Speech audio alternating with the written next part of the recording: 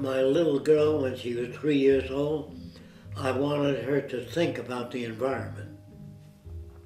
So I put a wrench on a nut the wrong way.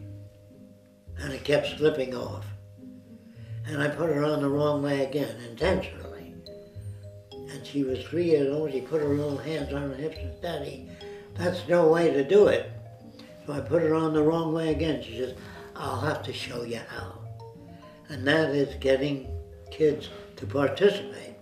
I made a cardboard house and I glued the windows on too high and I glued the door on the wrong angle.